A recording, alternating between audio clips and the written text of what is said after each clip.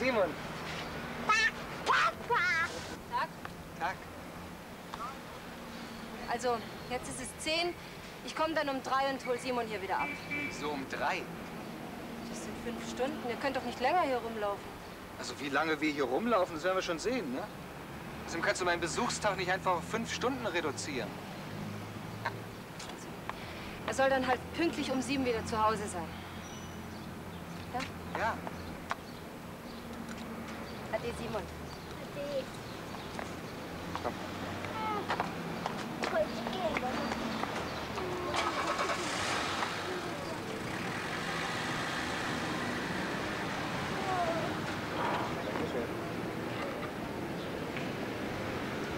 Ein Erwachsener, ein Kind und ein Führer, bitte. Zwölf Mark, bitte. Wollen wir auch Tierfutter kaufen? Ja, ne? Äh, wo bekomme ich Tierfutter? Es tut mir leid, das Füttern der Tiere ist streng verboten. Ah. Geben Sie uns was anderes. äh, Eine Tüte Lakritz oder Gummibärchen oder sowas. Äh, Das bekommen Sie da drüben am Kiosk. Schön.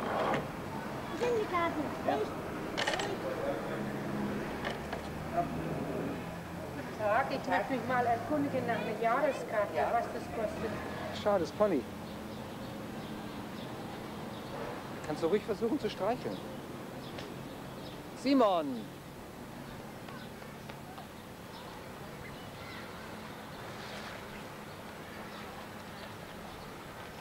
Möchtest du, Papa? Nee, lass mal, isst du mal. Also ich glaube, wir halten uns am besten an den Rundgang, dann können wir nichts verpassen. Oder, oder hast du irgendeinen besonderen Wunsch? Vielleicht gehen wir zuerst zu den Affen. Äh, Ich glaube, die Affen sind doch immer am lustigsten, oder? Simon, sag doch was. Heute sollst du entscheiden, was wir tun wollen.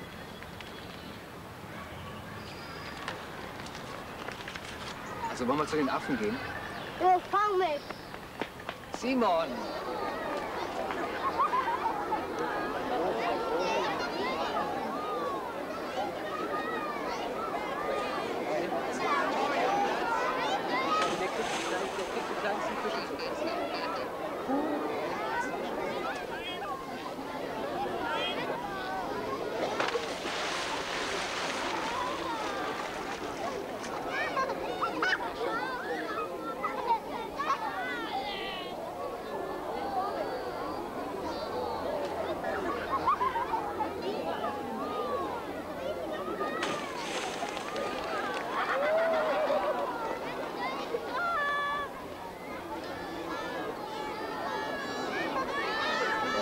bleib doch hier!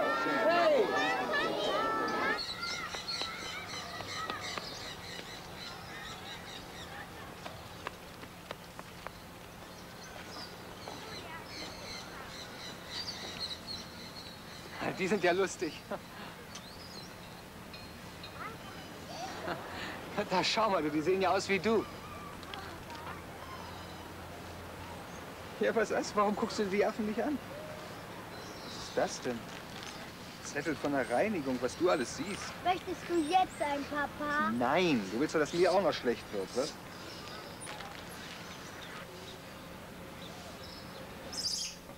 Da schau mal die Affenmutter, wie die ihr Junges trägt.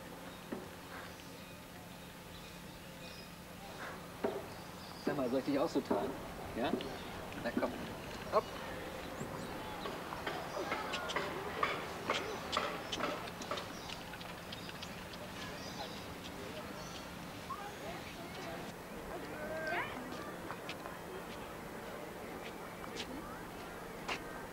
Also, ich muss sie mal wieder absetzen jetzt.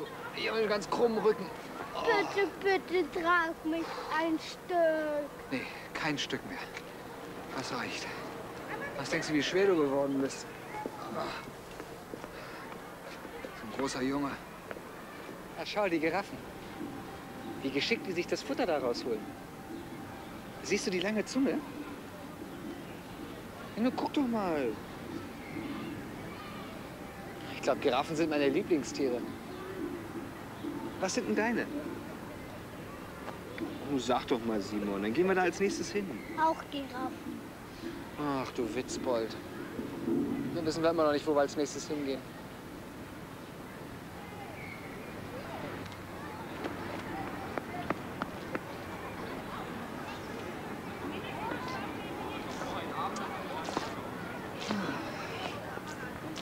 Simon. Was sind denn deine zweitliebsten Tiere? Elefanten vielleicht, die mit dem großen Rüssel. Oder Nashörner. Ja, die mit dem Horn auf der Nase. Ah, Oder... Sag doch mal was. Warum sagst du denn nichts? Weiß nicht.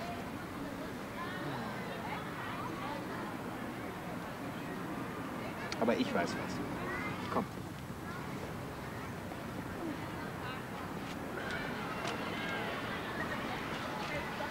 So, aber jetzt was für dich. Ah. Simon, was ist denn? Gefällt dir das Pony nicht? Wollen Sie ein kleineres haben? Willst du ein kleineres Pony? Ja, warum sagst du nichts? Simon, wenn du nichts sagst, dann kann ich auch nicht wissen, was du willst. Vielleicht hat er Angst vor Pferden. Ach was, das ist doch nur ein kleines Pony. Vielleicht hat er Durst. Hast du Durst? Simon, das sind doch nur so kleine Ponys. Was denkst du, was das für einen Spaß macht, da drauf zu reiten?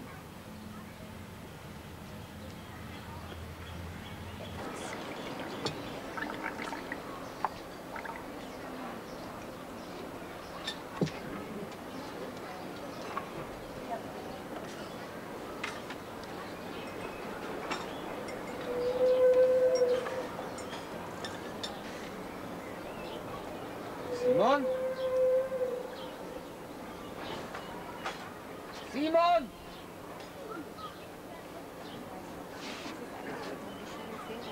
Sie meinen Sohn gesehen? Ja, da sitzt was unterm Tisch. Sag mal, was machst du denn da unten? Hier ist ein Marienkäfer.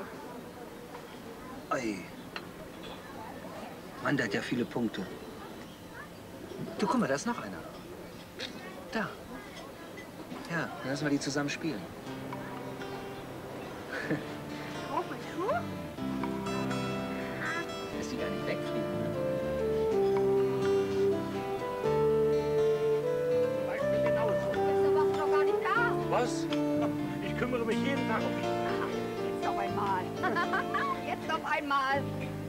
Seitdem der in der Wilhelma ist, hat er sich völlig verändert. Glaubst du, mir ist das noch nie aufgefallen? Wir hätten längst mal darüber reden sollen. Du hast mir ja keine Gelegenheit dazu geboten. Du mir vielleicht. Du hörst ja nie zu. Du hast ja noch nie Ah, da sind die zwei, von denen man den Papagei hat.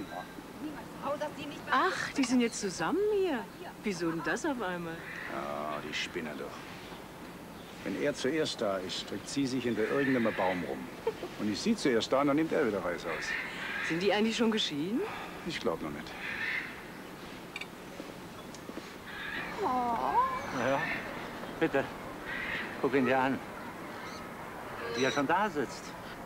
Völlig apathisch. Zu Hause ging sein Schnabel den ganzen Tag. Ich könnte heulen. Olli ist krank, das sieht ein Blinder.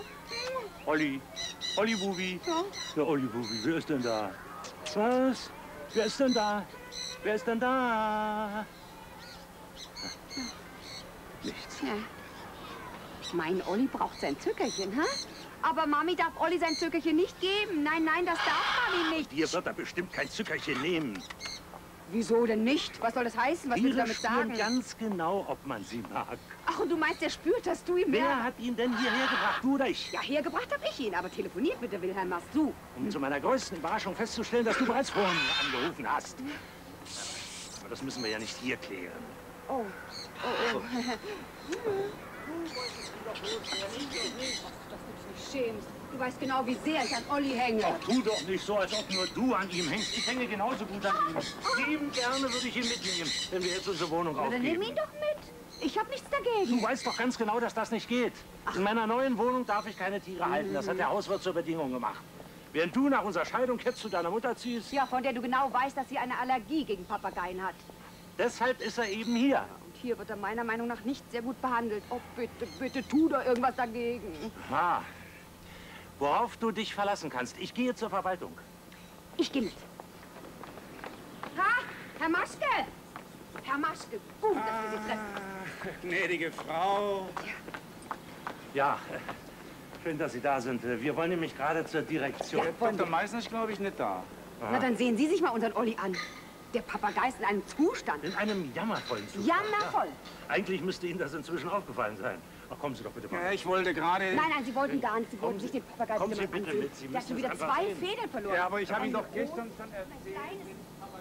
Ach, da sind ja schon wieder neue Federn von ihm. Hier, hier, hier. Sehen Sie sich das an. Eindeutig Federn von Olli. Es bestreitet ja niemand, dass die Federn von Ihrem Kakadu sind, aber das kommt Und vor, zwar die Vögel verliert in- er die nicht, Herr Maschke. Die reißt er sich aus. Ja, das ist doch nicht normal. Normal ist es sicher nicht, aber ich habe Ihnen ja gesagt, das kann vorkommen, wenn die Tiere Ja, lange zu Hause hat er das jedenfalls nie gemacht.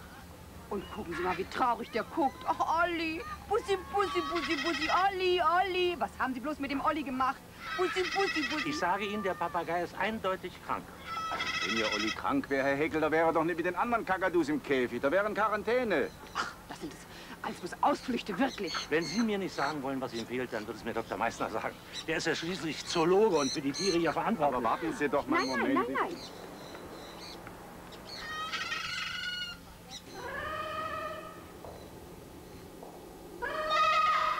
Ich habe Ihnen doch gesagt, lassen Sie die Finger davon. Na, Sie wissen doch selber genau, wie schwierig das ist, einen Kakadu amolukensis zu bekommen. Wenn die nicht so selten wären, dann hätten wir doch niemals unseren Grundsatz durchbrochen, keine Tiere von Privatpersonen anzunehmen. Eben.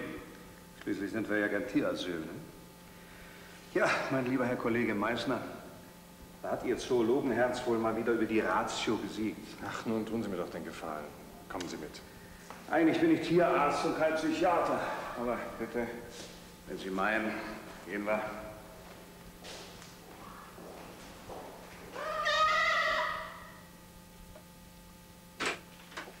Herr Heckel, Herr Heckel, guten Tag. Guten Herr Doktor. Ich habe gehört, Sie machen sich Sorgen wegen Ihres Kakadu. Größter.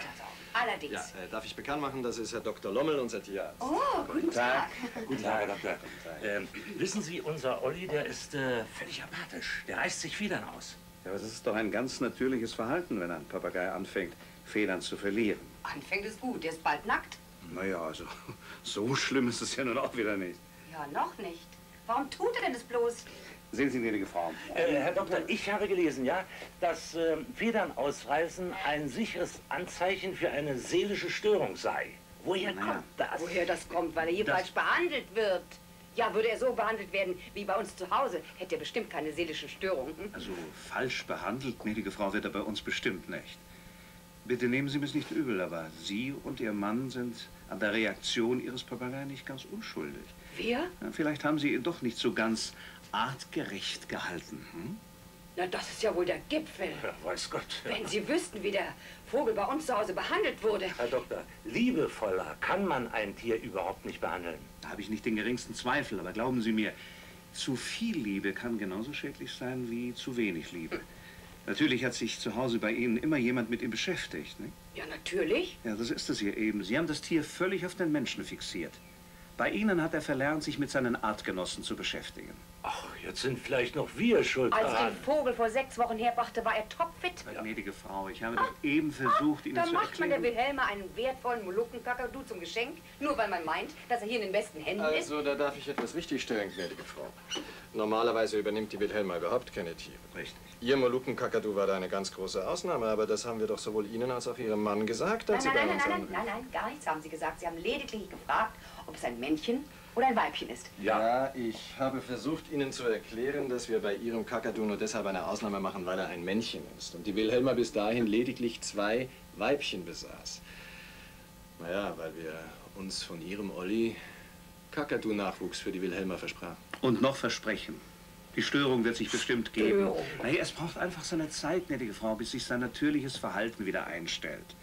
Wir sind nach wie vor der Überzeugung, das heißt besser gesagt, wir haben die Hoffnung nicht aufgegeben, dass sich Ihr Olli bei uns bestimmt noch wohlfühlen wird. Niemals wird er das. Niemals. Bloß, damit Sie zu Ihrem Molukken-Kakadu-Nachwuchs kommen, von uns nicht.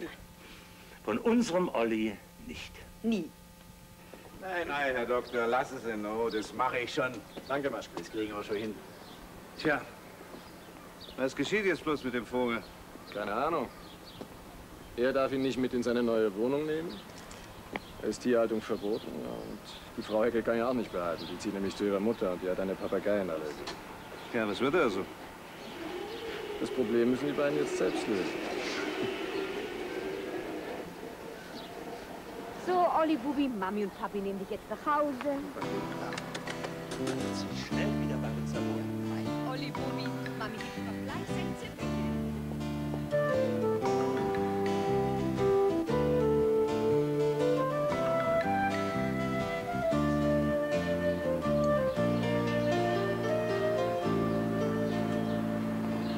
Hey du, Wohl. der Inni sieht aber ganz anders aus. Was sagst du, Kleiner? Na, Indy. Indy sieht ganz anders aus als auf deinem Papier da. Er ist doch viel schöner. Ja, Die Füße von deinem sind auch zu kurz. Guck doch. Und er hat gar keine Augen. Hm. Warum hast du ihn denn ganz schwarz? Er hat doch Streifen. Das kannst du gleich nochmal anfangen. Der ist doch noch gar nicht fertig, Junge. Richtig fertig male ich das Bild zu Hause. Da wird das Okapi dann auch so, wie es richtig aussieht. Warum denn zu Hause? Weil ich da mehr Zeit habe. Und mich keine vorlauten Jungs bei der Arbeit stören. Da nehme ich dann ein größeres Blatt und mache alles mit Farben noch mal ganz neu. Da kann ich dir helfen. Ja? Ich mal besser wie du. Ja? Ich habe nämlich eine Eins Malen. Oh, ist ja toll. Indy ist mein Freund. Mhm. Ich kenne auch Bobo und Charlie. Und Fritz Fritz. Fritz, Fritz. Ja. Toll. Und ein Löwe, der heißt Tobi. So wie ich. Tobi. Ist ja toll. Was du nicht sagst. Du bist wohl oft hier, ne? Ja, ich komme immer mit meiner Mutter her, wenn sie ausgeschlafen hat. Wo ist denn deine Mutter? Oh, die kauft da hinten irgendwo Äpfel. Ach so. Ach Sie arbeitet nachts. Ich mache mir selber Essen. so. Ja? Ja? Ja. Und wo ist denn dein Vater? Der? Der ist nicht da.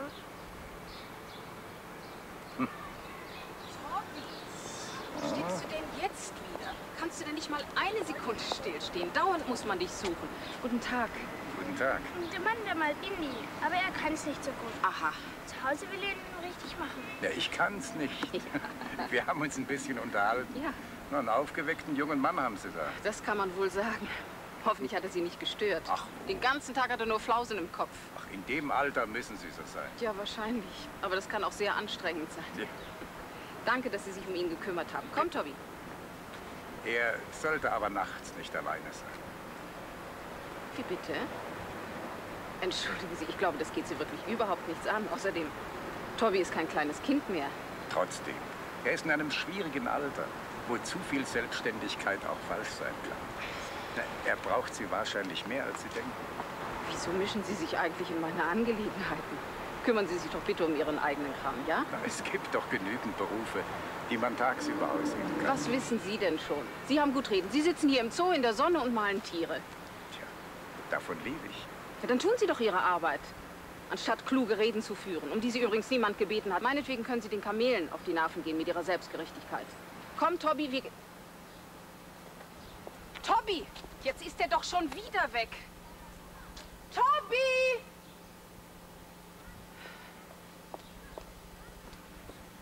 Entschuldigen Sie bitte. Ich war eben mit meinem Jungen hier und habe diese Äpfel gekauft. Haben Sie ihn vielleicht gesehen? Isabel? Ja, ich habe einen Moment nicht aufgepasst. Na ja, weit kann er ja nicht sein.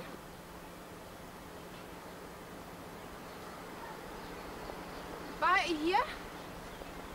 Nein, ich habe ihn nicht mehr gesehen. Also das ist wirklich ein Kreuz mit diesem Jungen. Jetzt kann ich doch wieder loslaufen und ihn suchen. Sind Sie so nett und halten ihn auf, wenn er hier vorbeikommt? Natürlich. Und sagen Sie ihm ruhig mal ordentlich die Meinung. Ah, ich helfe Ihnen lieber suchen. Ja. Und der Stuhl und die Zeichensachen? Och, die kommen schon nicht weg. Suchen Sie mal weiter unten. Ja. Ich schaue hier oben. In einer halben Stunde treffen wir uns dann wieder Dankeschön. hier. Ne? Bitte. Die sind seit fast fünf Jahren geschieden. Das ist so etwas, was Sie nicht sagen. Das habe ich gar nicht gewusst. Das ist doch schon drei Jahre. Doch, ich weiß es noch. An der Hochzeit von Treuningers, ihrem Jungen, da waren sie noch zusammen. Und das war verfüllt. Das Entschuldigen Sie bitte. Haben Sie vielleicht einen Jungen gesehen? So groß, braunes Haar, in einem bunten Ringelhemd. Nein, tut mir leid, den habe ich nicht gesehen. Ist er Ihnen weggelaufen? Ja, ja. Was machen Sie denn mit Kindern, die ausgebüxt sind? Meistens bringe ich sie zum Haupteingang. Oder ich lasse ausrufen, aber heute war noch nichts. Wie lange suchen Sie denn schon? Ach, noch nicht so lange. Dankeschön. Bitte. Trauriger Herbst. Ist das Ihr Bub? Ja. Wie alt ist er denn? Zehn Jahre. Und braune Haare, sagen Sie? Ja, warum? Haben Sie ihn etwa gesehen? Nein, also gewiss nicht. Und mir sitzen schon eine ganze Weile da. Da passt man halt auch besser auf. Entschuldigen Sie, ich suche einen Jungen, so ungefähr zehn Jahre alt, so rötlich-blondes Haar, so wie Sie. Nein, nein, der ist heller. Haben Sie vielleicht in letzter Zeit einen gesehen? Nein. Du vielleicht. Lieber guter Mann, da laufen den ganzen Tag ein Haufen Kinder Ja, rum. vielen Dank. Wenn man da auch noch Ja, drauf aufpassen soll. Herzlichen hä? Dank, danke. Auch nichts gefunden? Nein. Aber er muss hier gewesen sein. Was? Schauen Sie sich mal meine Zeichnung an. So ein Lausbub. Also was soll ich denn nun noch machen, um Himmels Willen? Ich kann ihn doch nicht einfach festbinden. Jetzt ist er schon fast eine Stunde weg.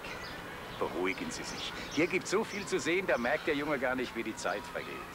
Wir gehen einfach noch mal los.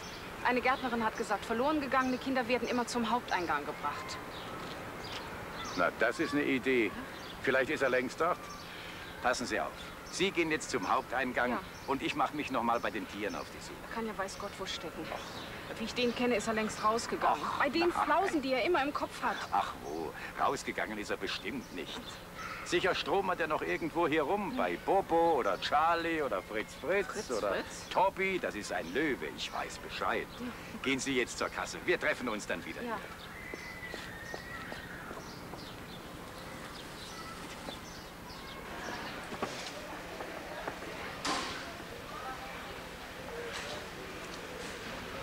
Entschuldigen Sie, ich vermisse meinen Sohn. Bitte? Ich vermisse meinen Sohn. Ich vermisse meinen Sohn. Wurde bei Ihnen nichts gemeldet? Nein. Er ist zehn Jahre alt. Ja, wie lange ist er denn schon weg, Ihr Kleiner? Seit über einer Stunde. Ich weiß gar nicht, was ich machen soll. Das kommt schon mal vor. Jetzt machen Sie sich keine Sorge. Die werden alle wieder gefunden. Das sagen Sie so leicht. Ich habe ihn doch schon überall gesucht. Der kommt schon wieder. Ich sage auf jeden Fall Bescheid, dass er bloß nicht Ja. Ne?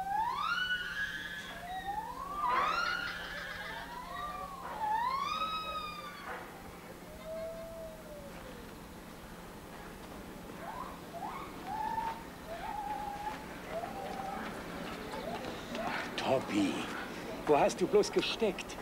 Deine Mutter und ich haben uns Sorgen um dich gemacht. Ich hab euch gestritten. Bin ich eben abgehauen. Das war mir zu blöd. Jetzt hörst du mir aber mal zu. Mein lieber Scholli, wir suchen dich jetzt fast zwei Stunden. Ist dir das vielleicht egal? Deine Mutter hat doch Angst um dich, wenn sie nicht weiß, wo du bist. Kannst du das nicht verstehen? Au, lass mich bloß. Nein, du musst ein bisschen mehr an deine Mutter denken.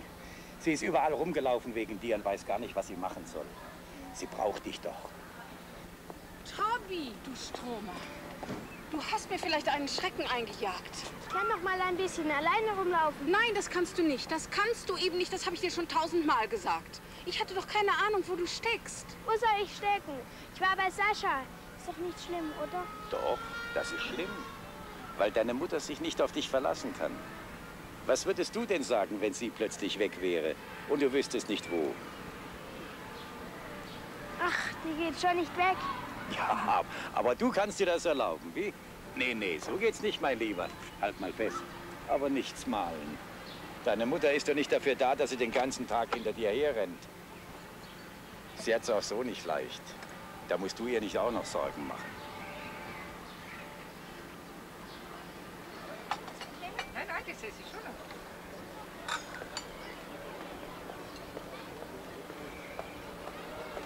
Ich glaube, ich war vorhin etwas garstig zu Ihnen. Ja. Dankeschön. Wir waren beide nicht sehr nett zueinander. Ja, ja. Das erste Bild, das man sich von einem Menschen macht, Wissen stimmt Sie, doch. was ich da über alte Leute gesagt habe, das war nicht so gemeint. Sie sind jedenfalls sehr, sehr nett. Das, zu viel bin ich nicht mehr zu gebrauchen. Aber Sie und Ihr Tobi, Sie haben doch noch alles vor sich. Bekomme ich noch ein Eis? Zwei Kugeln. Und renn nicht wieder weg.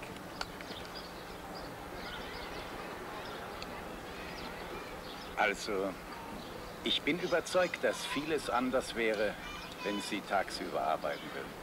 Glauben Sie mir. Wissen Sie, das ist gar nicht so einfach. Ich habe nämlich nichts gelernt. Als alleinstehende Frau findet man dann heutzutage nicht so leicht etwas, womit man sich und das Kind ernähren kann. Sie dürfen sich doch keine falschen Vorstellungen von meiner Nein, Arbeit mach machen. ich Bitte, ich bediene da in einer Bar, aber weiter Hm. auch nichts. Ich war damals froh, dass ich wenigstens diesen Job bekam. Tja, und Ihre Familie, Ach, Ihre Eltern, können Die- die nicht was für Sie tun? ein uneheliches Kind und keinen Vater. Oh, ich verstehe. Ist ja nicht zu fassen. Vorhin haben Sie genauso geredet wie die. Naja, da kannte ich Sie auch noch nicht so, wie ich Sie jetzt kenne. Aber sagen Sie mir, wie stellen Sie sich die Zukunft vor? Er wird schneller aus den Kinderschuhen rauswachsen, als Sie denken. Ja, ja. Ja, gerade jetzt braucht er Sie. So viel wie möglich. Was soll ich denn tun? Ich habe ja versucht, eine einigermaßen gut bezahlte Stelle zu finden, aber ohne Beruf. Und an eine Ausbildung ist im Moment gar nicht zu denken. Ich muss sehen, dass ich das Kind und mich durchkriege. Naja, Sie sind jung, da ist man flexibel und hat Energie. Na, und ein Mann wird sich ja wohl auch noch für Sie finden lassen, oder? Männer. Naja, na, na, Wissen. Sie, jetzt haben wir die ganze Zeit von mir geredet. Sie haben vorhin gesagt, dass Sie von Ihren Bildern leben. Sie sind also Maler. Was man so unter Maler versteht. Ich male Blumen und Tiere Mhm. oder Landschaften. Das Okapi ist ein Auftrag für einen Kalender. Deshalb bin ich fast jeden Tag in der Wilhelma und male Zootiere. Früher habe ich viel an Galerien verkauft. Wirklich? Ja, und Verlage. Naja, es gab auch bessere Zeiten. Aber ich komme schon durch. Meine Frau ist vor ein paar Jahren gestorben, wissen Sie. Und ohne meine Malerei wäre ich vielleicht auch schon unter der Erde. Übrigens, da fällt mir ein, wenn Sie jemand suchen sollten, der sich mal um Tobi kümmert. Ich tue es gern. Das ist sehr nett. Aber ich weiß nicht so recht. Mal sehen. Wir sehen uns sicher bald wieder. Wir sind öfter nachmittags in der Wilhelma. Ich würde mich freuen. Nochmals vielen Dank. Bitte. Und dann müssen Sie mich mal besuchen kommen. Oh ja, dann zeige ich dir auch, wie man richtig malt. Ja, so machen wir das, mein Junge. Da kann ich ja direkt noch was lernen auf meine alten Tage. Und du läufst mit deiner Mutter nicht mehr weg. Hörst du? Versprochen? Versprochen. Sag mal, ihr nicht aufpassen. Also das war ein Käsesahne, Schwarzwälder Kirschgranaten und den Kaffee. 13,20 für den Hund auf der Schulter. Oh, den nehmen wir 14,20. Also, das stimmt. Entschuldigen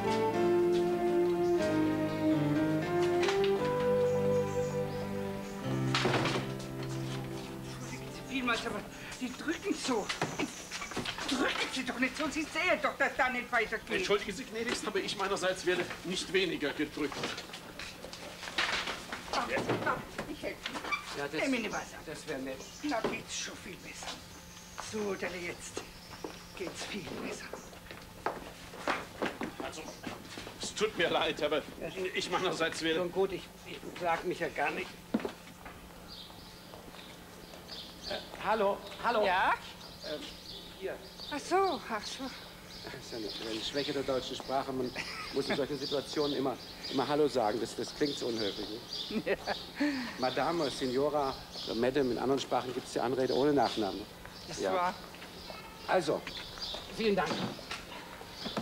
Wenn Sie vielleicht die Güte hätten, mich vorbeizulassen. Ja, dann organisieren Sie doch bitte eine kleine, kleine Umleitung. Die, die, die Leute die können, können, können doch auch, auch außen rum. Herrschaften, bitte außen rumgehen, weiter zu äh, hier. Äh, ist ein kleines Hindernis. Bitte gehen Sie doch da lang.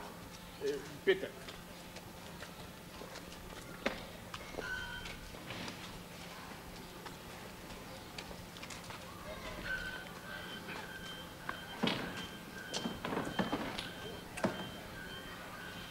Es geht mir ja nichts an, aber. Das geht uns sehr wohl was an. Das ist ein öffentlicher Rasen, der von unseren Steuergeldern... Was machen Sie denn da? Ich nehme ein Ozonbad. Hier? Wenn es wo Ozon gibt, dann hier. Sind Sie krank? Asthma. Mein Arzt hat mir empfohlen, eine Wohnung in Halbhöhenlage zu nehmen. Kann ich mir auch nicht leisten. Muss ich mir mein Ozon halt hier holen. Ist ja putzig. Kein Geld für eine angemessene Wohnung und dafür den öffentlichen Rasen okkupieren. Ah, Das ist ja die Anarchie. Also Sie kommen jetzt sofort von dem Rasen darunter. Oder es werden Konsequenzen über Sie hereinbrechen, an die werden Sie noch lange denken. Gut, wenn Sie so wollen, ich habe Sie gewarnt. Machen Sie bitte mal Platz. Lassen Sie mich doch mal durch, bitte. Das muss doch nicht sein.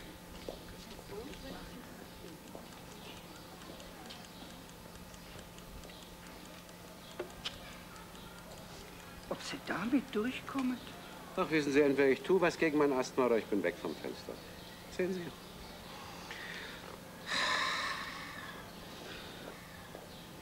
Oh je, da kommt sie schon, die Obrigkeit.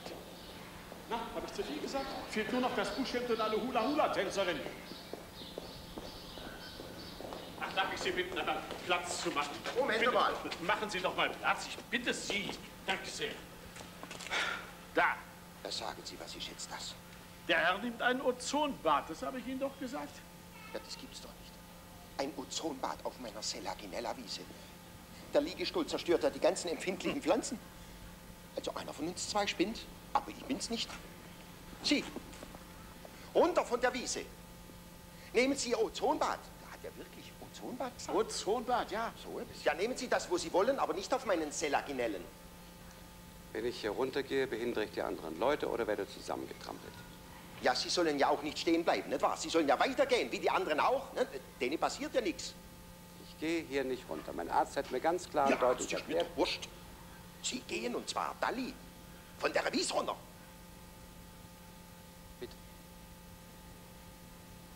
gehen Sie von der Wiese. Bitte. Oh, mach schon bis mit. Ja? Also von mir aus auch bitte. Gehen Sie jetzt von der Wies runter. Und zwar bitte. Ja, was ist jetzt, oder? Hören Sie, ich habe laut und deutlich bitte gesagt. Und Sie haben versprochen, vorzeugen, dass sobald ich bitte sage, Sie sofort runtergehen. Ich habe gar nichts versprochen. Ich meine, nur eine Frage sollte höflich gestellt werden. Der Herr ja hat keine Frage gestellt, sondern eine Forderung. Das gilt auch für Forderungen. Höflichkeit ist die Korsettstange des Zusammenlebens. Korsettstange. Korsettstange, ganz richtig. Also jetzt will ich Ihnen mal was über Korsettstangen erzählen. Eine solche des öffentlichen Lebens. Eine Korsettstange des öffentlichen Lebens ist das verbotene Betreten eines Rasens. Das heißt, äh, das öffentliche Be- Be- Betreten eines verbotenen Rasens. Das gilt hier wie in allen Parkanlagen und daran hat man sich zu halten. Auch Sie, gerade Sie. Warum gerade ich? Ja, weil Sie drauf sind. Die anderen Herrschaften sind ja nicht drauf. Die brauchen kein Verbot. Aber Sie.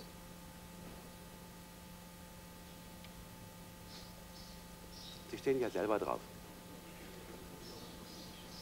Also, also, also erstens stehe ich auf einer Steinplatte, ja? Außerdem bin ich befugt und, und, und, und ich werde sogar dafür bezahlt, dass Ach. ich jetzt da... Ja, Dann darf ich es zehnmal. Ich mache es unentgeltlich. Ein kleines Anerkennungshonorar würde ich natürlich nicht ausschlagen. also, also, Sie, jetzt wird es aber arg unsachlich. Unsachlich nennen Sie das? Ich nenne das eine blanke Unverschämtheit. Das ist mir meinem ganzen Leben... Jetzt lassen Sie den Herrn doch mal ausreden. Sie halten sich da raus. Ach, fegen Sie doch nicht so rum hier. Wir sind nicht in der Kaserne. Aber ich werde doch noch einen Missstand anprangern Ja, ja, dürfen. ja, ich- ich- schon recht, ganz recht, ganz recht, horchen Sie, ich will doch mit Ihnen nicht streiten. Warum gehen Sie denn für Ihr Ozonbad nicht in den Wald? Da haben Sie freien Eintritt. Warum machen Sie Löcher in mein Wies? Im Wald hingegen. Der Wald ist aber nach oben offen, deshalb stimmt die Ozonkonzentration dort nicht, wenn Sie verstehen, was ich meine. Ja, außerdem habe ich kein Vertrauen mehr zum Wald, so wie der heute dasteht. Schauen Sie sich doch mal um im Wald und dann gucken Sie sich hier diese prächtigen Palmen an. So was gibt es doch Also- heutzutage überhaupt nicht. Dass Sie jetzt gerade meine Palmen erwähnen. Wie ich die alle gekriegt habe, da, da waren die so hoch, mit, mit Blattspitzeln, braun wie Tabaksaft, nicht wahr? Ah, jetzt gucken Sie so. Das sind doch Prachtexemplare. hä? Was meinen Sie, warum ich gerade hier sitze? Ich bin sehr wählerisch bei meinen Therapien. Gell? Für die Gesundheit ist das Beste gerade gut genug. hä? Drüben im Affenhaus ist der ganze Tag ein Affentheater mit den Affenbabys. Guck mal, Papa, wie sie ist. Ich mein, die schaut jeder an, gell? Aber was ich hier für eine Arbeit habe, um zum Beispiel eine Kalistem und Speziosus hochzuziehen, oder da Coroica cotoneaster, da sagt kein Mensch was. Genau, was ich immer sage. Also bevor Sie sich hier offiziell verbrüdern, möchte ich nochmals in aller Bescheidenheit auf die Parkordnung hinweisen. Wenn man sich danach nicht zu richten braucht, dann kann ich ja auch drauf. Sie, Sie werden sich hüten, Herr. Das gilt auch für Sie. Bitte. Angenommen, ein Kind fällt in den Seerosenteich. Darf ich den Rasen betreten und das Kind rausziehen? Ach kommen Sie, das ist doch ein Notfall. Sie sind kein Notfall. Ach, das wissen Sie. Sind Sie Arzt? Wenn Sie krank sind, müssen Sie ins Krankenhaus. Wissen Sie, wie hoch der Pflegesatz im Krankenhaus ist? Fast 300 Mark. Ich werde doch mein Geld nicht zum Fenster rausschmeißen, wenn ich das gleiche hier für 6 Mark kriegen kann. Ah ja, das sind äh, 294 Mark weniger. Quatsch. Was würden Sie sagen, wenn ich mich bei Ihnen einquartiere, nur um Miete zu sparen? Sparen auf andere Leute Kosten. Das könnte Ihnen so passen. Ja, ja, ja. Gehen Sie jetzt bitte. Ich habe Eintritt bezahlt, wie jeder andere auch. Da kann ich mich aufhalten, wo ich will. Ja, aber nicht auf meinen Senaginellen. Also, was glauben Sie, was hier los wäre, wenn alle Asthmatiker aus Stuttgart und Umgebung hier ihr Ozonbad nehmen würden? Ja, ja. Also, entweder Sie gehen jetzt oder ich gehe. Und zwar zur Verwaltung und sagt ihnen Bescheid. Auch auf die Gefahr hin, dass Sie mich hinterher einen Denunzianten nennen. Wollen Sie das? Soll ich Ihretwegen zum Denunzianten werden? Auch eine Auffassung vom Pflichtbewusstsein. Wer seine Pflicht tut, denunziert nicht. Niemals. Sie brauchen mir doch nicht zu sagen, was hier meine Pflicht ist. Sie doch nicht. Ich schaffe hier seit 25 Jahren. Ich weiß, wie man jeden Asthmatiker von der Wies kriegt. Das brauchen Sie mir nicht zu sagen. Sie nicht und, und überhaupt. Was ist jetzt da drin? Also ich gehe jetzt. Und in fünf Minuten sind Sie weg vom Fenster. Ich meine natürlich runter von der Wies. Kleiner Moment noch. Ganz ist die Sache nur wirklich noch nicht ausdiskutiert. Ausdiskutieren. Auch wieder so ein Ausdruck. Wenn ich sowas schon höre. Ein Verbot ist ein Verbot, da gibt's doch nichts zu diskutieren. Nächstens kommen doch andere Leute hierher und wollen auf den Rasen. Verlegen Sie doch gleich das Volksfest vom Vasen hier ins Gewächshaus. Ein Zoo ist ein Zoo und keine Intensivstation.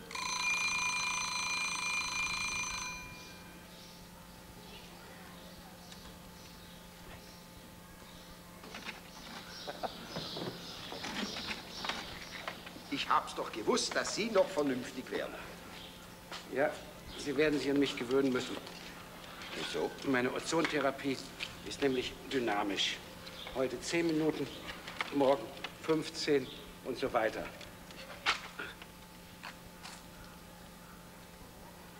Dauerkarte. Ich lass mich ins Affenhaus versetzen. Ja, bis morgen also. Das ist ja ein Skandal. Ja, und vielen Dank für die freundliche Unterstützung. Bitte, sagen Sie mal, also Ihr Arzt hat Ihnen aber nicht ausdrücklich dieses Gewächshaus verschrieben. Ja, nicht ausdrücklich, da würde ja auch die Krankenkasse gar nicht mitmachen. Die sind ja so pingelig, aber mein Gott. Aber äh, würden Sie mir vielleicht trotzdem die Adresse von Ihrem Doktor sagen? Ja, aber gern.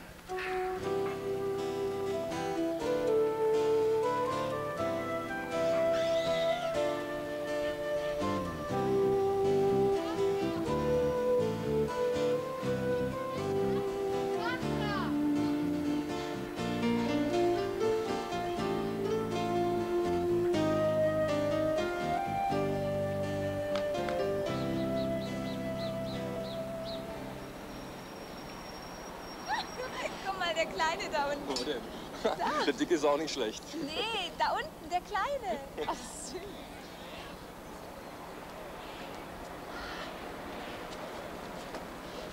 Guck mal, der Dicke, jetzt kratzt er sich schon wieder. Kann ich nicht drüber lachen. Das brauchen sie ja auch nicht.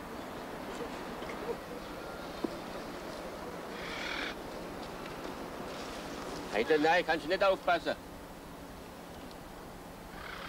Kinder sind noch schlimmer wie Affen. Warum kommen Sie denn dann her und gucken sich das an, wenn Sie das alles doch bloß ärgert? Ist billiger wie Kino. Und dem Gericht läuft zurzeit auch nichts Gescheites. Also dann, auf Wiedersehen. Wiedersehen. Glaub ich nicht.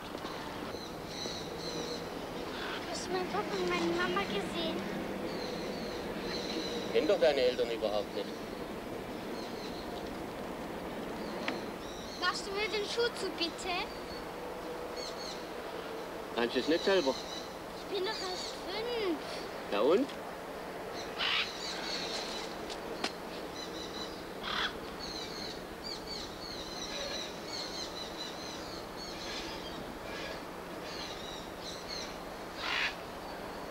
Das sieht aber nicht schön aus. Aber es hebt.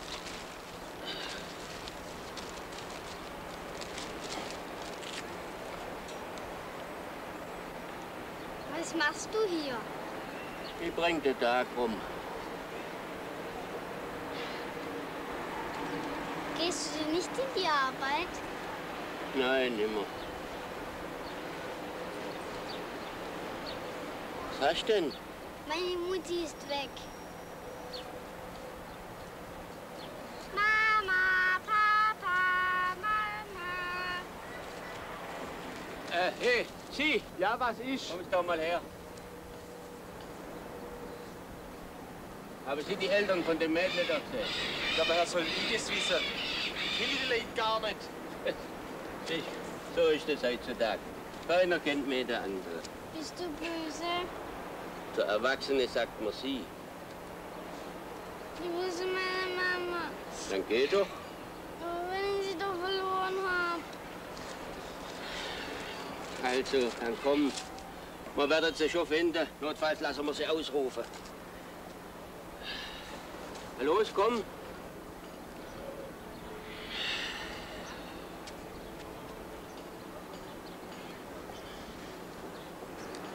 Hast du auch Kinder? Um Gottes Willen, nein. Aber Enkel. Ja, Wenn ich keine Kinder habe, dann kann ich auch keine Enkel haben, nicht wahr? Ah, hallo, Sie. Ja? Können Sie mir das Kinder abnehmen? Hm? Ja, wieso? Das läuft da wild rum im Zoo. Ich kenne das Mädchen nicht, aber irgendwo müssen ja die Eltern sein. Aber so sind sie heutzutage. Lassen ihre Kinder im Stich, lampern drum und unser eins hat's nachher auf dem Hals. Jetzt komm, setz dich doch mal zu mir aufs Wegele.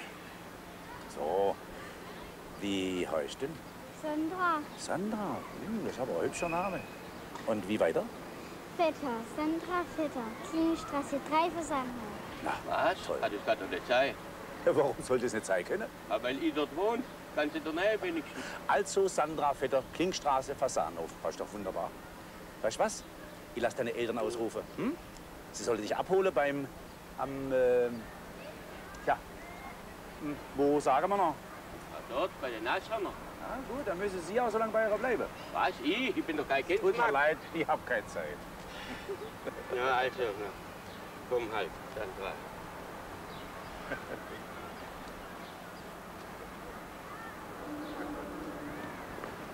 Du sollst da bleiben, Sapperlot. Nachher bin ich schuld, wenn du fehlst. Halt denn wo rennst du denn hin?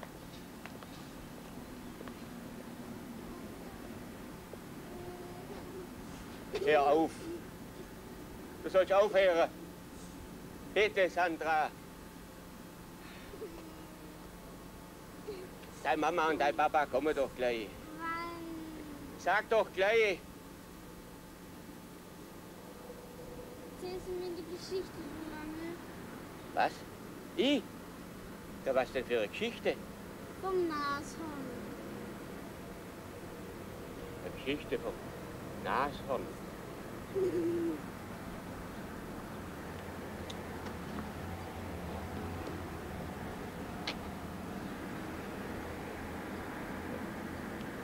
Ich habe noch nie Geschichte erzählt. Aber können es ja mal probieren.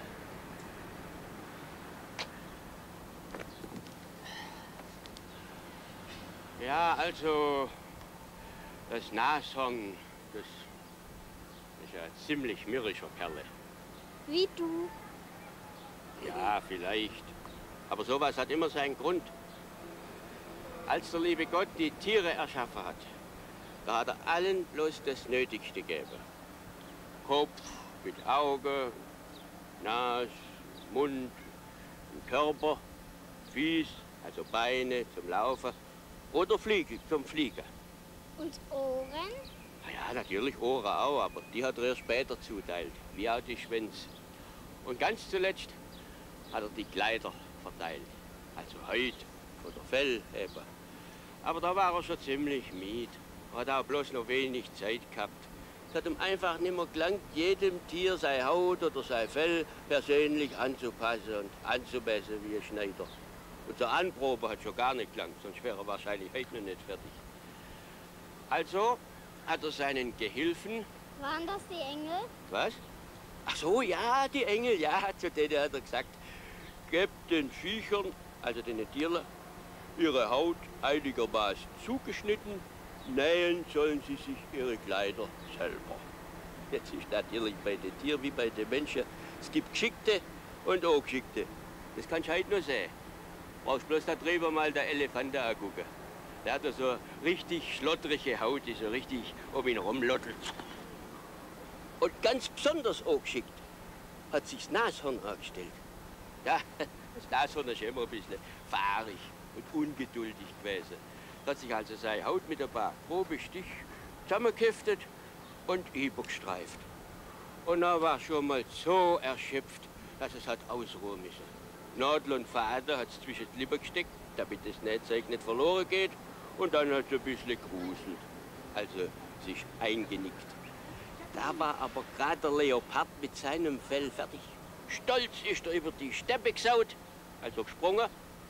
Und darüber ist ein Kiebitzpaar zu Tod erschrocken und hat seinen Warnschrei ausgestoßen. Äh!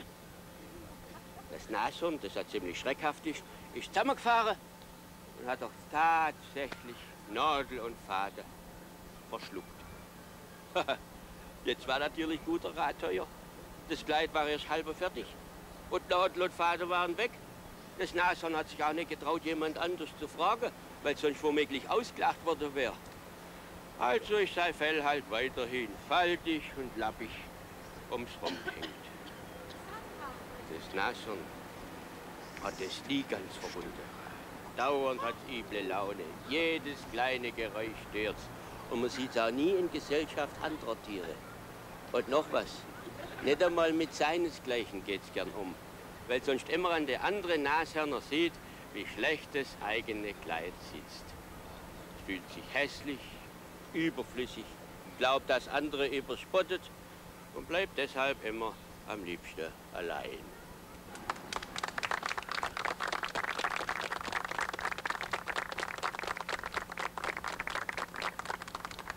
Sandra, das bist du ja. Wir haben so lange nach dir gesucht. Mami, das Nashorn. Vielen Dank, das war sehr nett. Mami, das Nashorn hat seine Nadel verschluckt. Na komm. Ich will da bleiben. Nun komm schon. Und nochmals vielen Dank. Das war aber eine schöne Geschichte. Und so hässlich war das Nashorn doch gar nicht, oder? Auf äh, Wiedersehen, Herr Nashorn. Sandra. Wie meinst du denn das? Tobi wohnt auch im Fasanhof, gleich bei uns. Ach, Sie wohnen gleich bei uns um die Ecke. Fasanehof. Ja, können wir Sie mitnehmen? Ich bin mit dem Wagen da. Ah, nein, das ist doch nicht gerade nötig. Aber wenn es keine Umstände macht.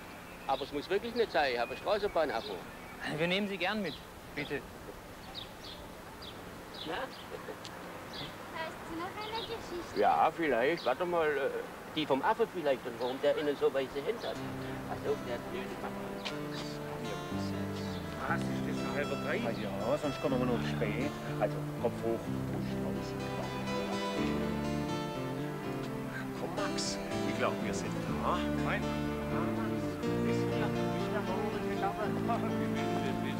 Steht im Führer. Alles voller Magnolienbäume. Guck mal, die Dame da drüben. Die Ältesten hier in der Wilhelma. Dame? Die Magnolie.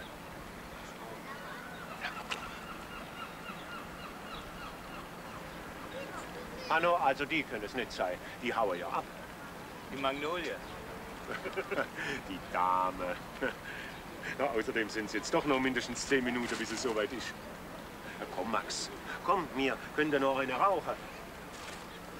Da, auf der Bank. Und wenn sie früher kommt, dann sieht sie uns beide und weiß vielleicht nicht, welches der richtige ist. Jetzt sei doch nicht so nervös, Max. Sie wird wohl zuerst nach dem Erkennungszeichen gucken und nachher erst nach dem Mann. Äh, vielleicht äh, solltest du die Blume auspacken, damit sie sie auch sieht. So, ja. Jetzt, Zeit, jetzt verstehe ich gar nicht, warum du so aus dem Häusle bist.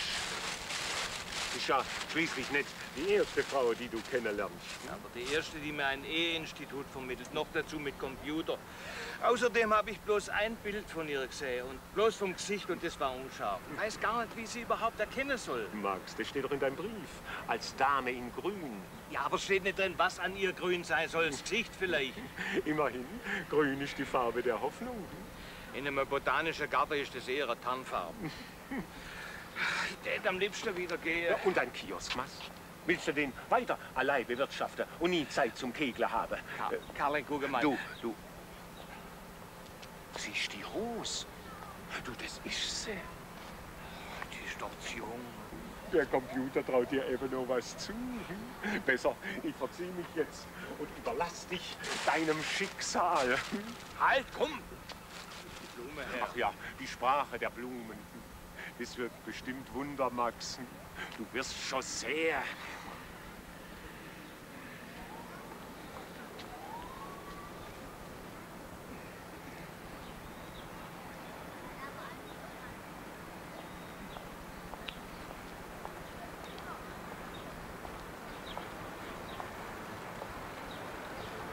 Grüß Gott.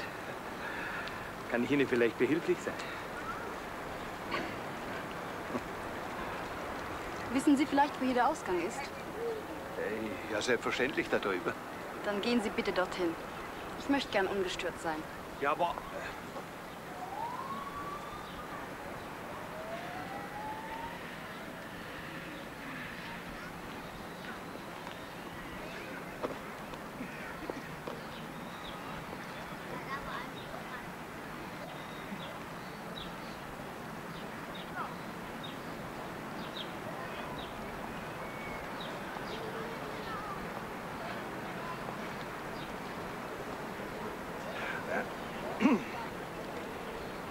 gefallen Ihnen die Gerberer?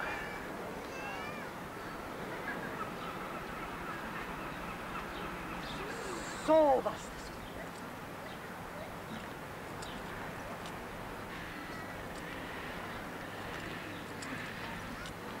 Sie sollten sich schämen, Sie.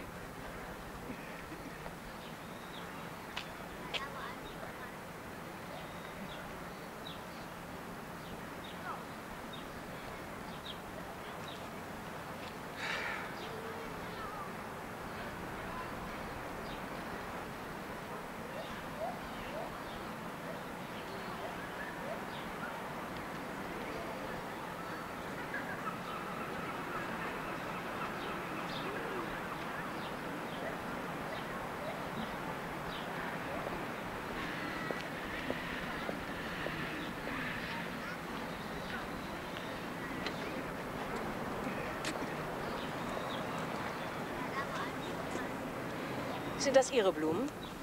Die Ihren. Jetzt. Bitte. Das habe ich mir auch gedacht.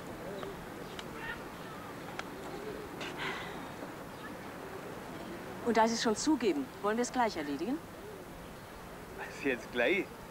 Ja, Sie meine? Dann kommen Sie bitte mit zur Kasse. Wieso zur Kasse? Um Ihre Personalien aufzunehmen, natürlich. Oder glauben Sie, der Botanische Garten schenkt Ihnen die Blumen, die Sie hier ausrupfen? Das kostet Sie eine Strafe und eventuell eine Anzeige, mein Herr. Also kommen Sie jetzt. Ja, aber die habe ich doch gekauft, die Blume. Glauben Sie mir. Und den Kassenzettel vergessen, nicht wahr? Ja, ich glaube. Hey, bisher mal.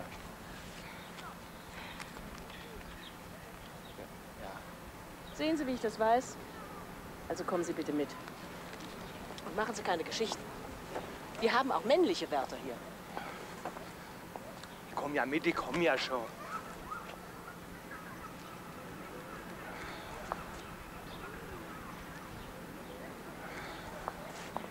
Das können Sie jederzeit nachprüfen, dass ich die Blume gekauft habe. Im Geschäft am Bahnhof. Bitte fahren Sie mit mir hin, haben Sie den Beweis. Vielleicht haben Sie schon gemerkt, ich bin im Dienst. Ah, na, halt, wenn Sie Schluss haben. Ich hol Sie gern ab. Glauben doch nicht im Ernst, dass ich mitfahren würde mit einem Blumendieb. Also, Sie glauben doch wohl nicht mehr ernst, dass ich einer bin. Eigentlich sehen Sie ja nicht so aus. Ich habe mich sowieso schon gewundert. Wozu haben Sie eigentlich so dringend Blumen gebraucht? Ja, für eine Dame in Grün. Was wollen Sie damit sagen? Dass Sie mir sympathisch sind. Die Blumen. Sie, gnädige Frau. Fräulein, wenn ich bitten darf. Hm, Fräulein. Hm, so. Wieder. Aha. Jetzt ist aber genug. Sonst glaube ich wirklich noch, Sie haben die Blumen für mich geklaut. Ja, wissen Sie, Gerberat im Altangelegenheit. Ich beobachte Sie nämlich schon länger, Mrs. Devisse. Ich weiß gar nicht, wie oft ich schon hier war, nur um Sie zu sehen. Sie sind mir aber noch nie aufgefallen. Ah ja, das, das ist ja gerade. Natürlich nehme ich das Bußgeld und die Anzeige gerne auf mich, wenn Sie nur einverstanden sind, dass wir uns wiedersehen. Naja, von der Anzeige können wir ja vielleicht absehen. Aber die Blumen müssen Sie dem Betrieb vergüten. Die Blumen und ein Abendessen. Für die ganze Belegschaft? Das kann Sie aber teuer kommen, meine. Wann hat die Belegschaft denn heute Schluss? Da drüben ist die Kasse. Am besten sagen Sie, Sie wollen eine Spende machen. Und nennen Ihren Namen. Merle? Max Merle. Um fünf? Mhm. Und bringen Sie keine Blumen mehr mit. Sowas kann im Botanischen Garten Folgen haben.